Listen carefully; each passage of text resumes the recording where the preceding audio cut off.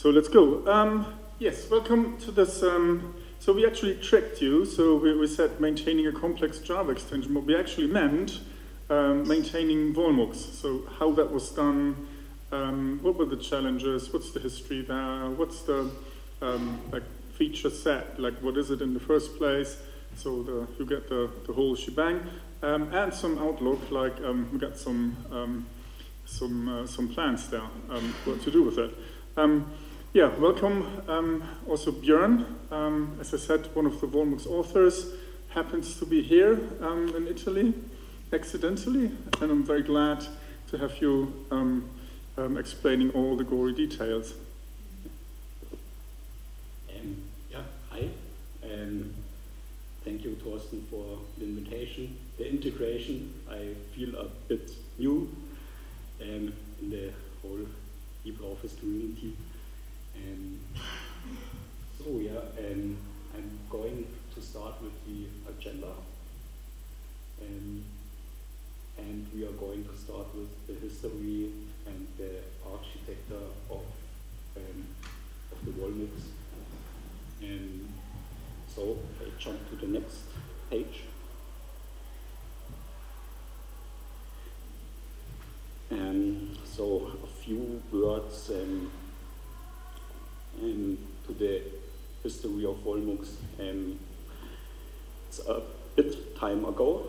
Um, it was uh, 2004 um, that Munich, um, yeah, in Munich we, they had um, uh, Windows NT uh, Windows 2000, um, and yeah, they decided um, to migrate and to use um, Linux.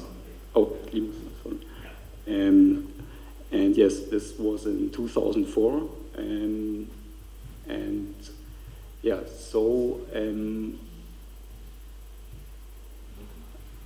yeah, um, every um, departure needs um, some management for forms.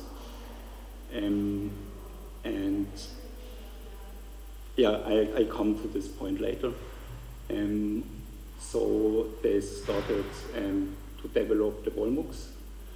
Um, we have some, yeah, some, some key major changes. Um, for example, in um, yeah, in 2013 um, or 2012 to 2013 there uh, was the migration from OpenOffice uh, 3.1. Is that right? OpenOffice 3.1. Does that work? Oh yes, it does. Okay. Um, yeah, yeah. I think it was some. I think it was three one-ish or something. So, so it was not the very latest um, open office version. So, so, so history, of course, is that um, that um, um the the Linux project um, started with open office, and then there was a relatively long period of migration, and I think the first production WollMux was 2008 or something. Mm -hmm. And it was also the first time that, that it was the source was published. Um, so, so we're kind of kind of skipping ahead here um, and skipping the most of the open office details. Mm, okay, so um, yeah, the next, um, uh, you could say what, what's um, coming after 2030, uh, for example, um, 2014, 2016, um, there were a lot of um, new futures um, that every department, that some department needs. So this is more bug fixing futures. And the next. And, and actually, the, um, if you look at the, the amount of changes, um, the, the migration from uh, OpenOffice to LibreOffice uh, 3.6 in that case was quite massive. So there was some, uh, so the, the one single, um, there were two releases that were really quite large, and that was one of them. Um, for obvious reasons, um, we, we, did change quite a bit in, in LibreOffice back in the day. So that it was reflected in, in WollMux. Um, so we are an so.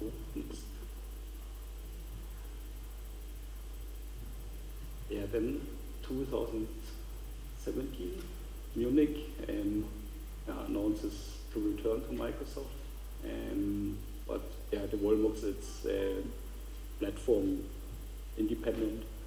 Um, so um, we continue to um, support um, and partly um, party integrated new features. Um, but yeah, um, we to this time we also um, first communicate with um, Allotropia and ZIP um, to hand over the volumes at some time. Um, so yeah, um, moving from Ant to Maven, um, uh, the build, the whole build system, um, yeah, and Git, Git was added, and and yeah, the next um, big change um, was the um, we we want to go away from Java Swing and to the native LibreOffice controls. And we, um, I'm, I'm, we are coming to this point later. Um, and we um, added the integration of the um, form UI. So when you have a form, you um, have to fill out the form in some way, and, and this uh, was in an extra separate window um, because of the Java UI, uh, Java Swing UI, and um, we uh, integrated it in the LibreOffice sidebar. Mm. Yes, that's that's the history.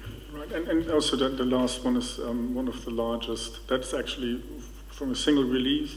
Um, the, the, step from 17 to 18 was, was the largest with um, 96k um, lines um, touched um, repeatedly sometimes. So um, it was quite a large cleanup there and, and large leap ahead. What's interesting is that the, the time frames, when you look like when it was announced and decided to migrate, and the, what's let, us say how long the project still uh, continues, and also how much. Sorry.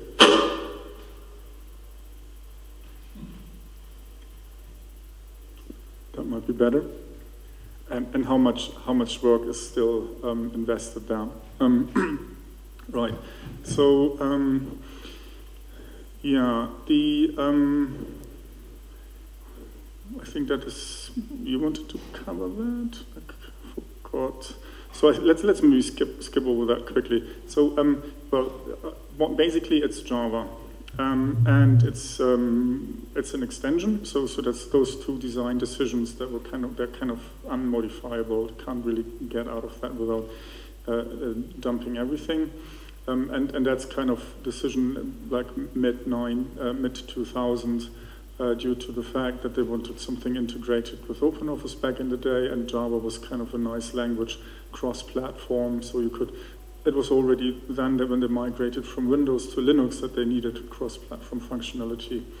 Um, and, and, quite some cool stuff there. And, and Python wasn't quite there yet um, in terms of um, um ubiquitous availability and also like um, quality of implementation. So Java was a very obvious choice.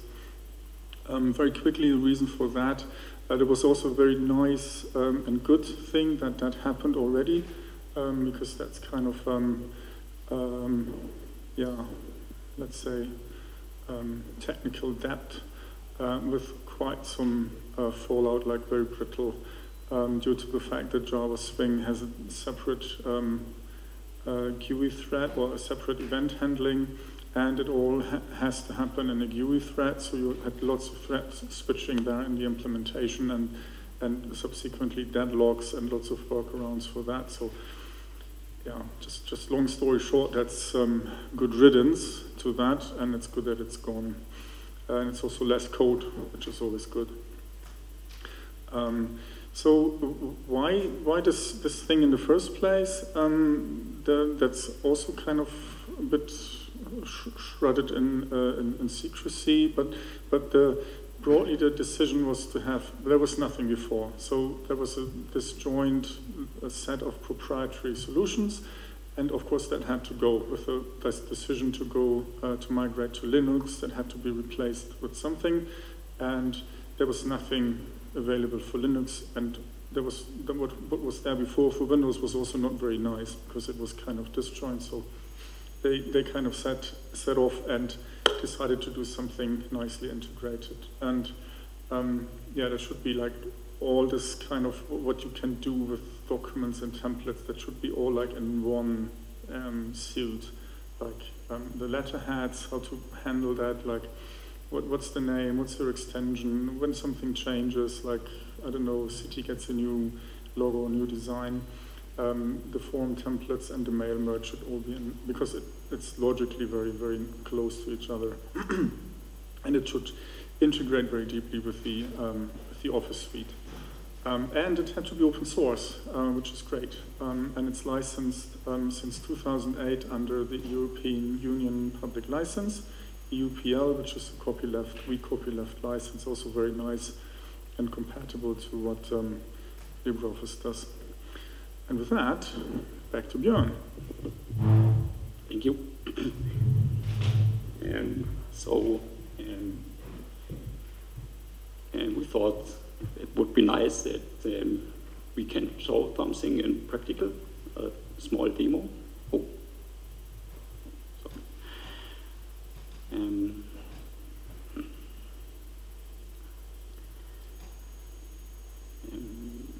So I show uh, an example for the mail merge. And yeah, it's, um, it's a very simple text. So, so just to, to draw your attention to the fact that the sidebar is um, doing something very custom here. Um, yeah, yes, um, yes, the, the sidebar, it's um, uh, you, you have a config um, for every client. Um, it's um, hosted on a, yeah, it's a Linux hosted server um, where it's received the con uh, his config. Um, and yeah, this is just um, a basic config with a letterhead and some other examples. Um, and this icon is for the mail merge. And so you can um, uh, support um, an ODS file or um, um database, um, could be MySQL, uh, could be Oracle, um, doesn't really matter. and so I have now it's no not a database. It's simply a file with um, yeah 1,000 um, data sets. That's random names and some other things. Um, and yes, um, well, and what you can do now is um, you can simply, uh, as it, it reads the header of the ODS file, first name and so on, um, and you can simply choose it um, in the merge UI here. So you can yeah, just set it in the document uh, what, on the cursor position. Um, and you have some yeah, special fields which are um, functions in, in the WollMux. Um, for example, it's the um, you can do an if um, if condition. I have set here in the in the data source here is number of children some values. Um, and here I have um, an if condition that you can set. Um, and that's widely used. Um, in our departure um, uh, department. Sorry. Um, so when you uh, it reads the data source and when a number of children uh, is null, um, then you get um, 50 euro, and when it's one, when you have one child, and then it's 100 euro, and so on. It's just a simple example, but and that's one thing that's yeah, heavily mostly used. And so I, you have a preview function, and and I, I quickly go through um, some, some data sets. And you can see here, um, it depends what's, um, what the value is in the data source and what we have set in the if condition, and yeah, it will be set in the document. Um, so we, we are mostly finished, and um, I select here, can select how many um, data sets you um, it should um, print or generate. You can select them uh, an ODT or PDF, and, and I will one of them.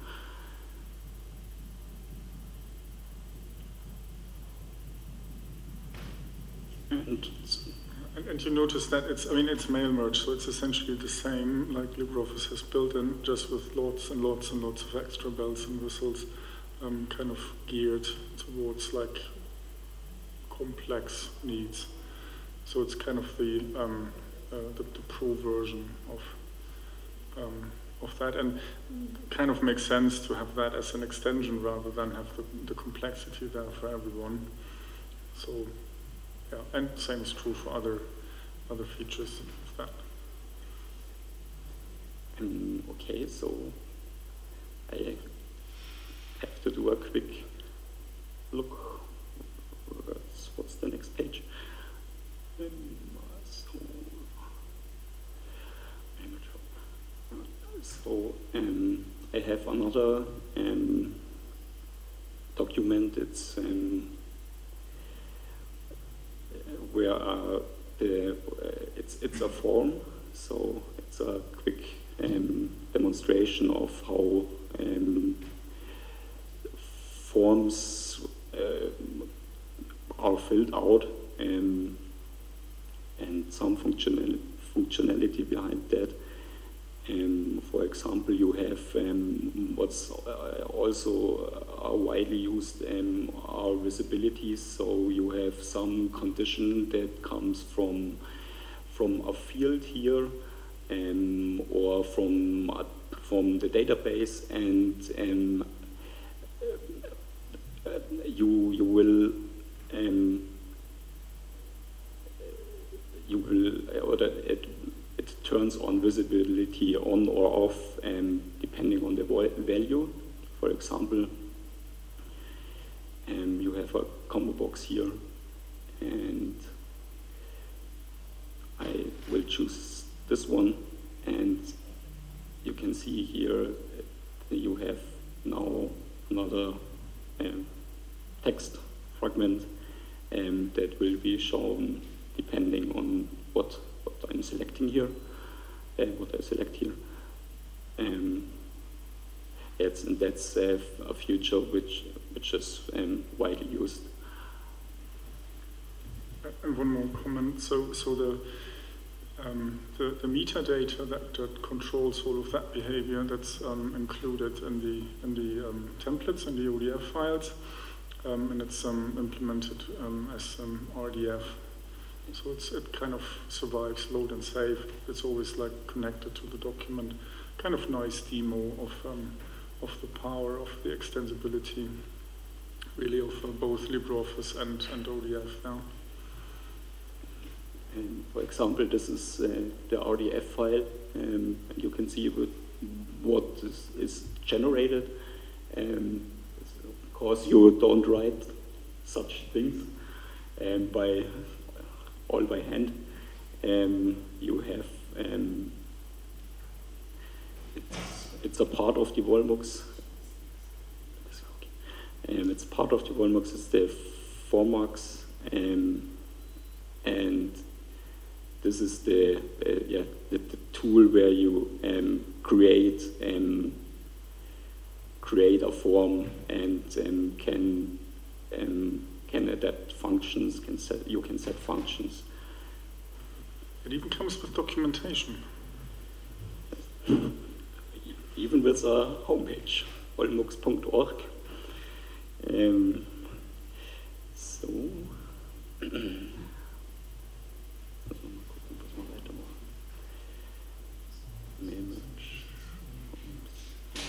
Ja, das äh, ist ein Vollbild.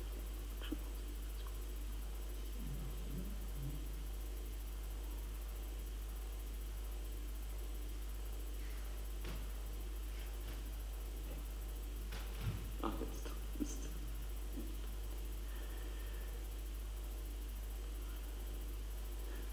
Um, so this um, um, uh, should should show how you can um, mix um, documents to one final document, and so you can um, um, insert fragments in the main document, and so when you have, um, for example, there's a, a new legal um, new paragraph for something, and you don't need to change the whole document. You can um, change the, the fragment, a fragment, and that will be loaded in the main document, and so it's easier to maintain.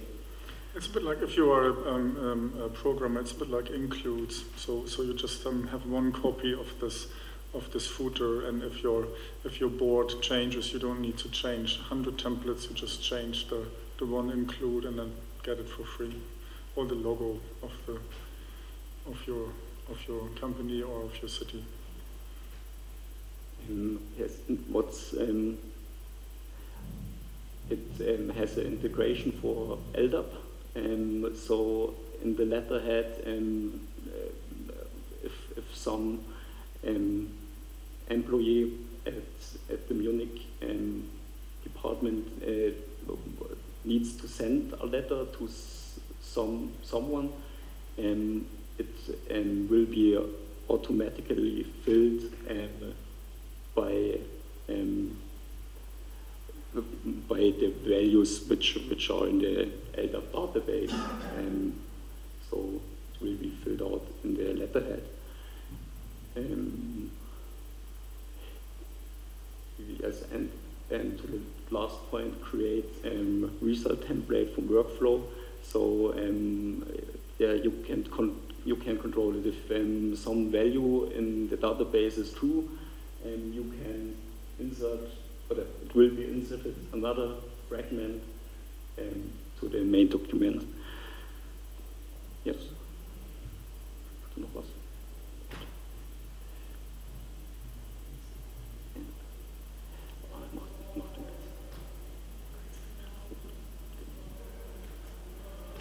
So, given that we're running slowly out of time, um, so so all of that. So, first of all, um, personally, I'm, I'm, as you might have heard, I'm a great fan because that's that's kind of super powerful. You find that, that there's professional packages that that that offer you that, but but they are kind of really expensive, and and they're used by banks and other um, institutions that do a lot of um, produce a lot of documents, like like a government um, but none of that is open source.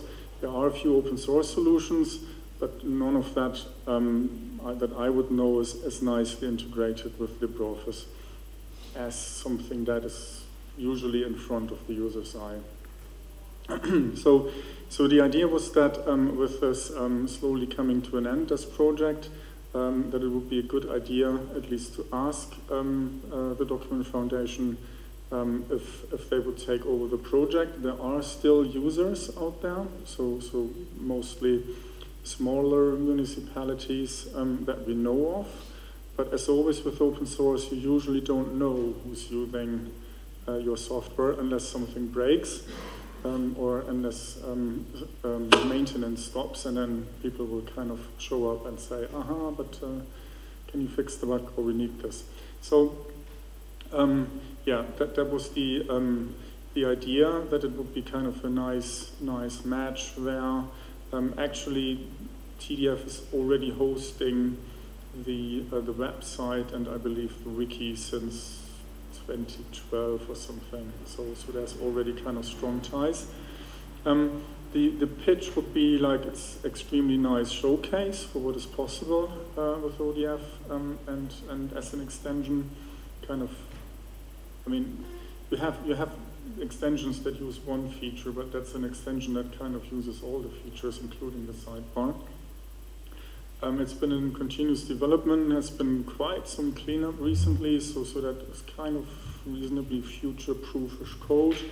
Um, nice success story beyond the fact that sadly Munich is uh, migrating away, but um, I mean it's in production since 2008, so, so, that it should count for something. And um, no, that's the third largest uh, city um, in Germany. Um, and um, yeah. Okay. That's probably applause. um, yeah, and it's kind of like, um, so it's kind of one-stop shop in terms of this, like what, what you need for everything that, that produces documents. So you can, you can do it all um, there in one place. And, and, there is some commitment uh, from um, the city of Munich and also from, from my company, um, because yeah, I think it's a great piece of software, and, and I do believe that there's that has a future, and that there might even be business there that um, once it, um, um, it's a TDF and perhaps a bit um, cleaned up and um, a bit less German, and um, yeah, that, that there's other people being getting interested in that, or that those people that are still using it say, yeah, well, we, we might need some we might need some support or maintenance there. So there's some commitment for cleanup and improvement, uh, and also a limited commitment to maintain that um, for at least a year or two, so, so that it's not like um, code dump and run away. Um. And with that, we're one minute over. So if you've got any questions, maybe that's something for the hallway. Thank you very much. Thank you.